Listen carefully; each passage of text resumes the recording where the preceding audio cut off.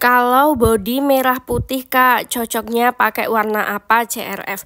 Halo kak, kita pemasangan lagi dekal yang body aslinya warna hitam.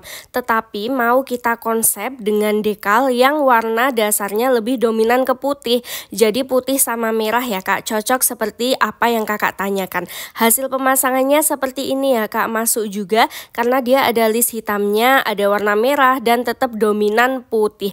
Putihnya glossy ya kak, jadi mengkira kilap ada gambar aliennya warna abu di bagian depan.